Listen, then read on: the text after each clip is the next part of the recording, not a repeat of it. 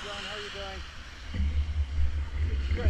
Uh, Joan, I'm just biking on my way home here. I'm almost home, but I'm on Tuscany Hill, and on the in the southbound lane, there's a manhole cover blown off, and there's cars swerving around it.